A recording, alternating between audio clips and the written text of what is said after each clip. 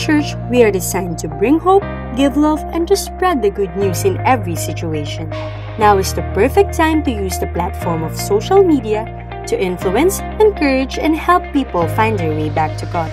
For more updates and more of God's experience, visit and follow us on our official social media accounts on Facebook, Instagram, and Twitter, and also subscribe to our official YouTube channel. Join us in our quarantine training every Wednesday at 8 p.m. for us to be trained and equipped and to learn on how to be a productive child of God in the midst of this crisis. Be a part of Saving Lives, Saving Homes every Friday at 8 p.m. and let us lend a helping hand and help with a compassionate heart by reaching their homes and sharing the gospel. And also take part in developing a godly generation by teaching our kids that they must be about the Father's business. Lead our kids to tune in to J12 Worshippers live streaming every Sunday at 10 a.m. Let us all celebrate and worship the Lord together every Sunday at 4 p.m. via live streaming on Raining Light Church International Facebook page. Stay connected to your cell groups and to your respective cell leaders for strategies and announcements of schedules of live class, school of leaders, and other upcoming events. Continue to engage in Jesus' mission, continue to do the vision, serve our purpose, and achieve our goal. Let us all fight this battle together.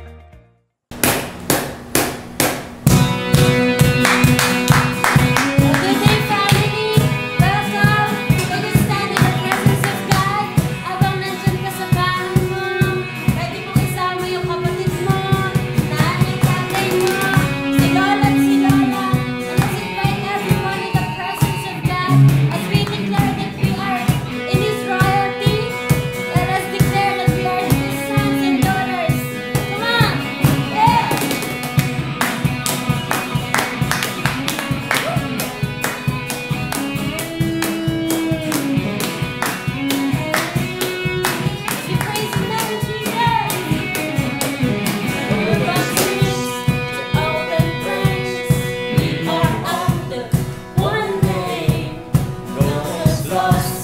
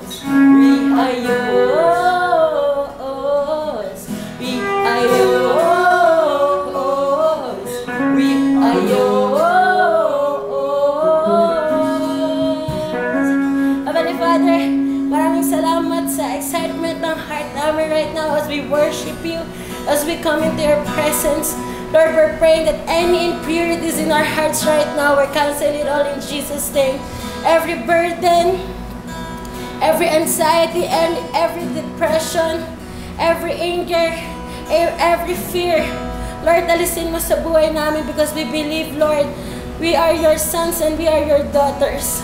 And Lord, everything that you have designed for your children are the best. Kaya Lord, the situation na meron kami right now, we're claiming the best is yet to come.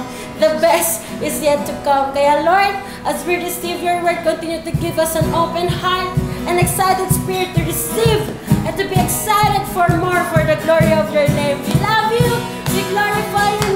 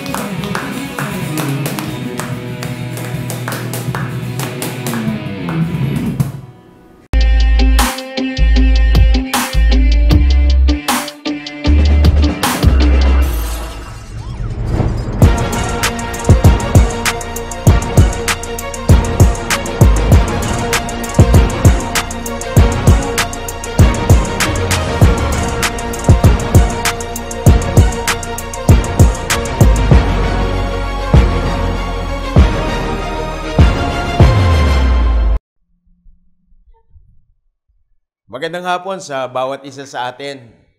At binabati ko po yung pong mga nanonood sa kanilang mga tahanan.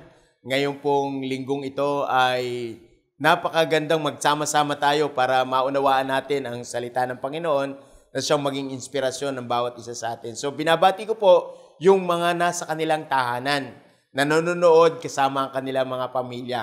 So magandang hapon po sa inyong lahat at ang kapayapaan ng Panginoon maranasan po ng bawat isa sa atin. Yung karunungan at unawa sa kanyang salita, maranasan po natin. Ganon din, binabati ko po yung mga first time na nakapanood ngayon na bumisita sa ating page or na-invite sa ating page. So, welcome po kayo dito po sa atin pong ah, gagawin ngayong hapong ito and I am so excited to be with you. And today is a June 7 and I am so excited because this month we're going to celebrate our 12th anniversary. Kaya sa mga excited na maranasan kung ano pa yung gagawin sa kanila ng Panginoon, kasama po ng ating spiritual family, pwede po ba na mag-heart tayo, mag-likes tayo, and then mag-comment tayo sa mga excited po sa atin pong anniversary.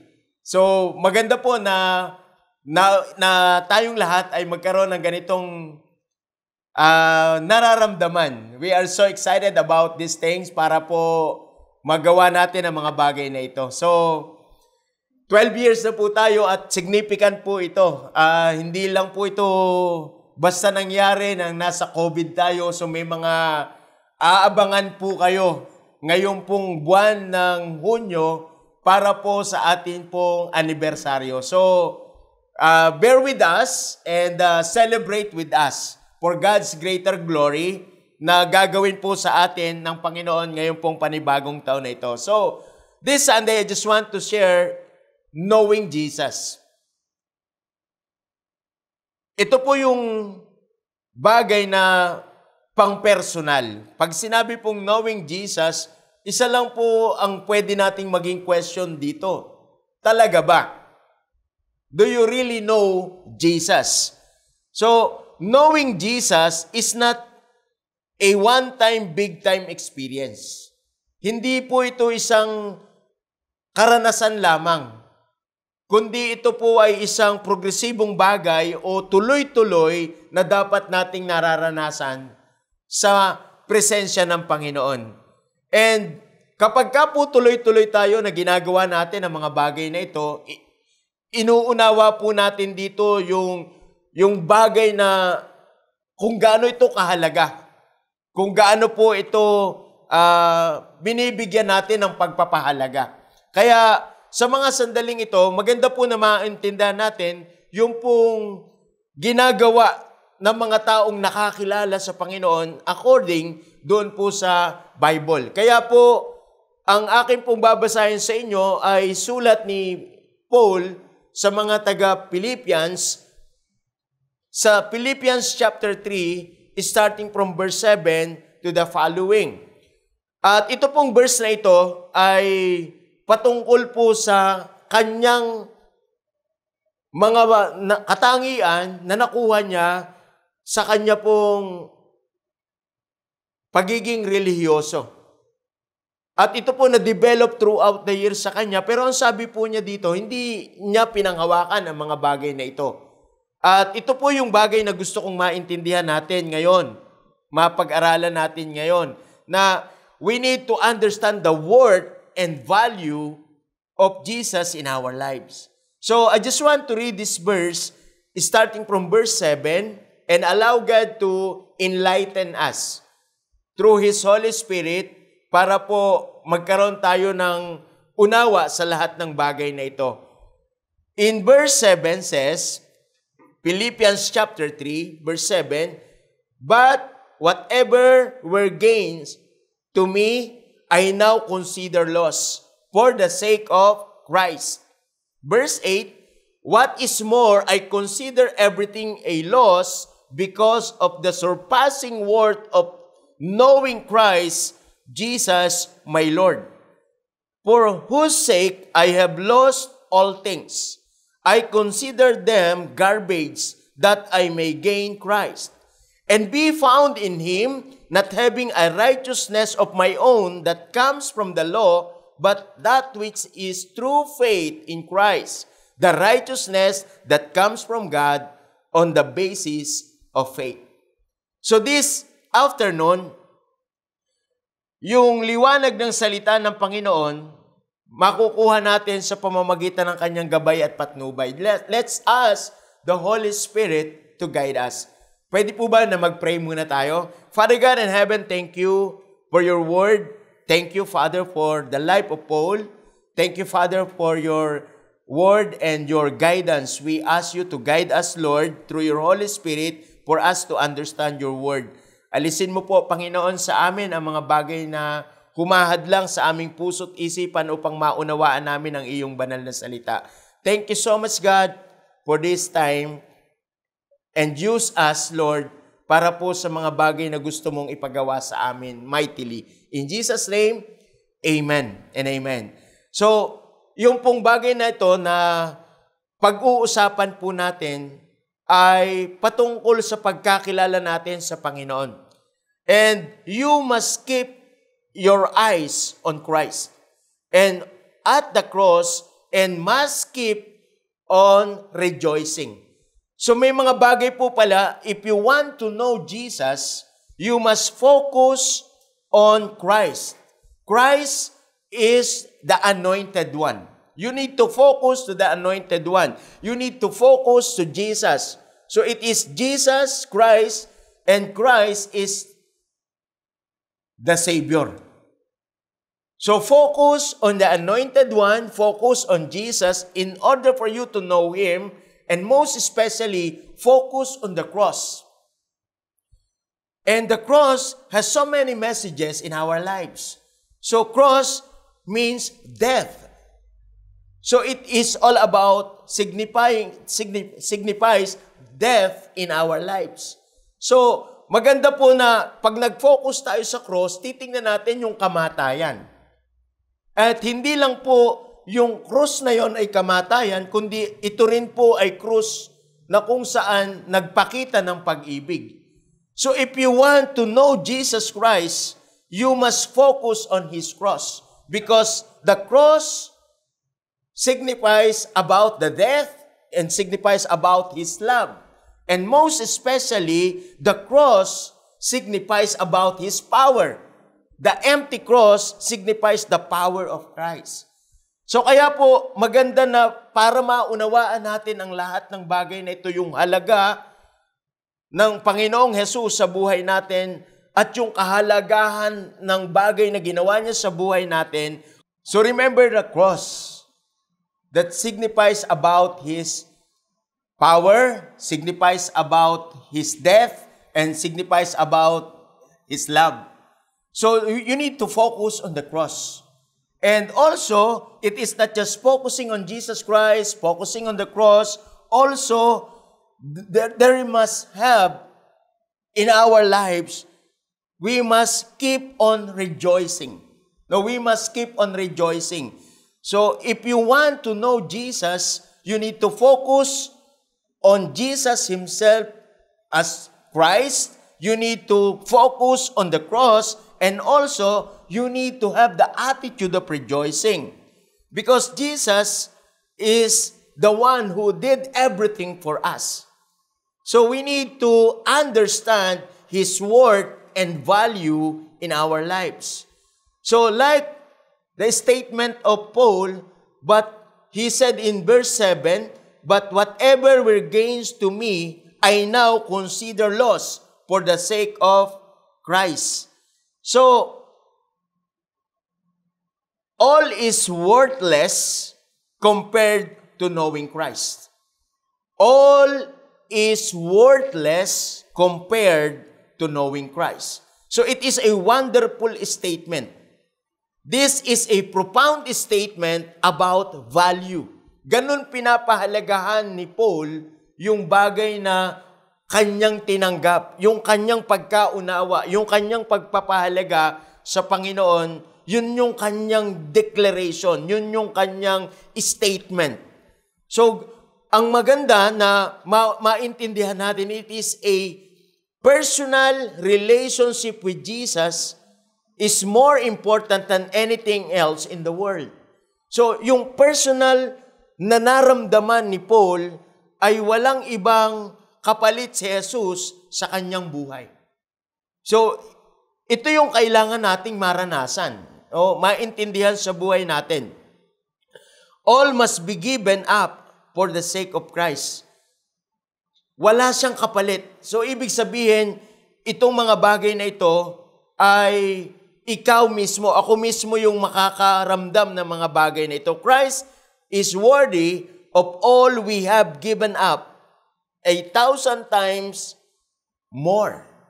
So kung ano man yung bagay na ginigive up natin, hindi natin pwedeng i-compare sa mga bagay na ginawa sa atin ng Panginoon.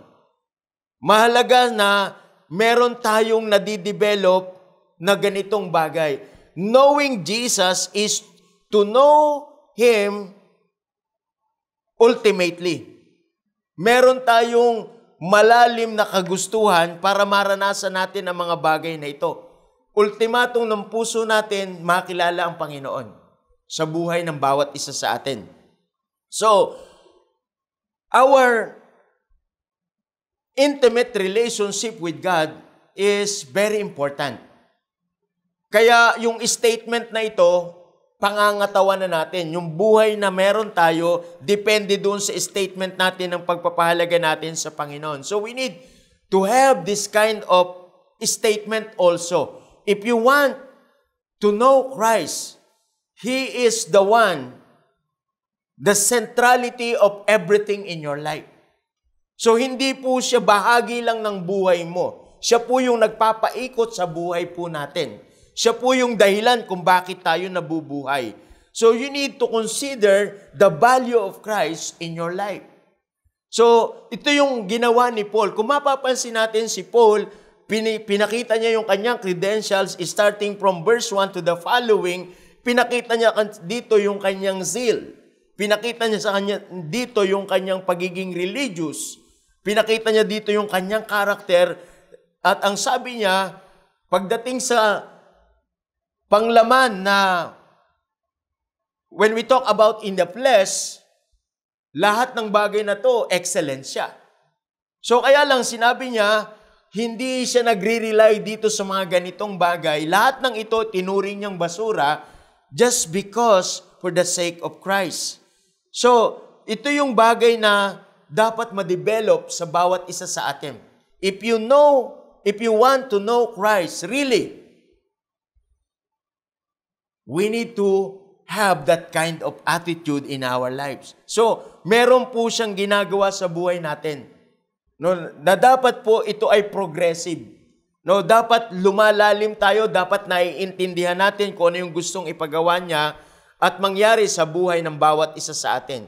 So, this profound statement is all about the value of Jesus Christ to Paul. Ganon din po yung dapat makuha natin dito na anumang bagay sa mundong ito, pagdating po sa relasyon natin sa Panginoon, walang kapalit.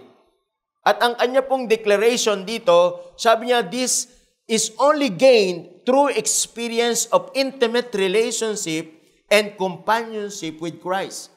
So, yung bagay na yan ay experience. You know, you must know Jesus by experience. Not just one-time experience, but it is a progressive experience. When you have intimate relationship and companionship. So, hindi siya program, hindi siya event. It is a progressive relationship with Jesus. Makukuha natin ang mga bagay na ito sa pamamagitan ng pakikipagrelasyon natin sa Kanya. And when we talk about relationship, relationship is two-way. It is all about give and take. So it requires agreement. It requires uh, faithfulness. So yan yung bagay na kailangan sa buhay na maranasan ng bawat isa sa atin. Walang kapalit ang Panginoon sa atin. So for Christ's sake, it cost me to forfeit everything. Lahat ng bagay sa akin, sabi niya, itinuring kong kalugihan. I give up everything. I considered everything was lost. So, yung kanyang success, yung kanyang relationship, yung kanyang family, yung kanyang friends, yung circle of friends niya, tinalikuran niyang lahat ng mga bagay na ito for the sake of Christ. Yung kanyang beliefs, yung kanyang practices, yung kanyang religion, yung kanyang family, everything in him. He considered it as loss. So this is my personal conviction. Yung lahat ng bagay na ito na sinasabi ni Paul, no, dapat mangyari din po ito sa akin. Dapat makuha ko ang mga bagay na ito. Bakit? Lahat ng bagay na yan ay kailangan na maranasan ko kung kailala ko talaga si Jesus. Wala siyang kapalit. Even my relationship, even my personal plan, even my personal goal, even everything in my life, I consider it loss for me just to gain Christ in my life. So, next to Christ, everything else is nothing. Next to Christ, everything else is nothing. So, ibig sabihin talaga, yan po yung kailangan sa buhay ko na hindi ako magiging kompleto, na hindi ako magiging masaya kung si Jesus wala sa akin. So, like Paul, yung pong bagay na ito, nakita po ito, pinakita ito ng Panginoon sa bawat isa sa atin in Matthew chapter 13, verse 44. And he is pertaining about the kingdom of heaven and the value of it to those who find it. So, yun po yung bagay na ito, gusto kong basahin po sa inyo ito. The kingdom of heaven is like a very precious treasure hidden in the field, which the man found and hid again. Then his joy, he goes and sells all he has and buys the field, securing the treasure for himself. So, ang ginawa nitong lalaking ito, binenta niya lahat nung may makita siyang kayamanan. Tinabunan niya ulito, tinago niya ulito. Ang ginawa niya, umalis siya. Pagkatapos, binenta na niya ng lahat. And then, binili niya yun. Is gusto niyang isecure sa kanyang sarili yon. Because ang value ng kayamanan na yon ay lahat ng bagay na meron siya. So this is all about the kingdom of heaven is like. Ganon din po yung sa buhay ng bawat isa sa atin. Maganda po na meron tayong ganong perspective na walang anumang kapalit si Jesus sa buhay po ng bawat isa sa atin. So remember, yung profound statement mo, yan po yung uri na magiging buhay mo. Yan din ang uri na mag, paging, pagsunod mo sa Panginoon. Kaya kapag ka hindi mo po kayang ipagpalit ang relasyon, ang kayamanan, ang kasikatan, ang pamilya, or anything na hindi mo kayang ipagpalit sa, Pang- sa Panginoon, basura daw ang lahat ng mga bagay nito, sabi ni Paul. So, dahil meron siya pong naintindihan sa kanyang sarili na ang makapagpapaligaya sa kanya at makapagkukompleto sa kanya, walang iba kundi ang Panginoon. Second, no, next to Christ is nothing else, eh, everything else is nothing. Yan po yung maging malinaw sa bawat isa sa atin. If you want to really know Jesus, you must have this kind of statement and it is only gained by experience. And experience is not one-time, big-time experience. It is a process through the years. So kung ano man ang sitwasyon natin sa buhay, dyan mo makikita yan. Pag masaya ka, susunod ka ba sa Panginoon? Kapag ka ba may problema ka, susunod ka pa rin ba sa Panginoon? Kapag ka ba pinipersecute ka, susunod ka pa rin ba sa Panginoon? Kapag ka ba wala kang pera, susunod ka pa rin ba sa Panginoon? Kapag wala ka bang trabaho, susunod ka pa rin sa Panginoon? So everything was lost to Paul. And to those who know Jesus really, walang kapalit talaga si Jesus. Kaya sa buhay ng bawat isa sa atin, makikita mo kung talagang mahal mo ang Panginoon kapag siya ang lahat sa iyo. Pero kapag meron pang kapantay si Jesus sa buhay mo na hindi mo kayang ipagpalit, hindi mo talaga kilala si Jesus. Kaya po, paalala ko sa bawat isa sa atin, no, na sa pagkakilala natin sa Panginoon, maganda po na meron tayong kaisipan na hindi mo kayang ipagpalit ang Panginoon. Sa anumang relasyon, sa anumang kayamanan, sa anumang kasikatan, sa anumang bagay na matatanggap mo na lahat ng parangal sa mundong ito, walang kapalit ang Panginoon. So, kailangan sa buhay natin na maintindihan natin ito kung talagang totoo mo ang pagsunod mo sa Panginoon. Ang Panginoon, hindi mo pwedeng ipagpalit sa trabaho. Hindi mo rin pwedeng ipagpalit sa tao o sa anumang bagay sa mundong ito. Pero kung sa atin nangyayari na sa karelasyon natin, tao yan. Minsan sa pangarap natin, trabaho yan. Minsan na ipagpapalit natin doon ng Panginoon sa buhay natin. Kaya gusto ko ngayong hapong ito, i-challenge kayo. Ano yung value ni Jesus sa buhay mo? Ano yung mga bagay na ito na nangyayaring pumapalit kay Jesus sa puso mo? So dapat talaga walang iba kundi si Kristo. At lahat ng ito, you only know Jesus if you have wisdom. Because wisdom helps you to understand. No, yan po yung bagay na, and then understanding helps you to live according to His way and word. So, yan po yung bagay na dapat ma maunawaan ng bawat isa sa atin. Sa pagpapasimula po ng, ng buwan na ito, mas maganda po na ma- ma-challenge tayo, na lumalim tayo sa Panginoon, gawin natin kung anong gusto ng Panginoon, at yung kanyang kalooban, yun lang ang sundin natin. This is only for those who have wisdom. So those who have wisdom, they understand the value. So they understand the value of Jesus in their lives. Nothing can compares about Jesus. So ganun katindi yung value ni Jesus sa sa buhay ng mga marurunong, no? Sa mga buhay sa buhay na mayroong pang unawa at nai-apply ito.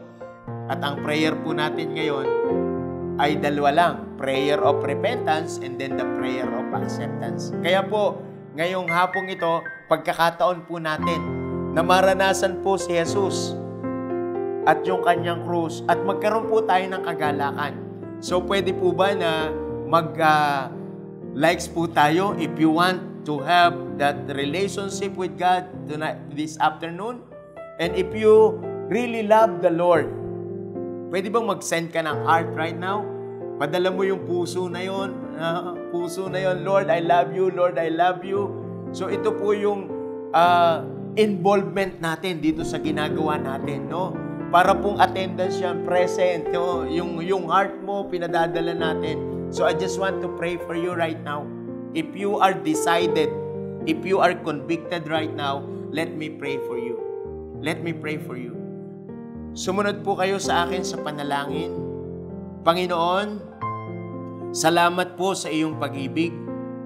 Salamat po sa pagpapakita nito sa akin. At humihingi po ako ng patawad kung ikaw po hindi ko pinahalagahan. Patawarin mo po ako kung sinunod ko ang sarili kong kagustuhan. Humihingi po ako ng tawad. At Panginoong Jesus, tinatanggap kita sa puso ko at gusto kitang makilala ng lubusan.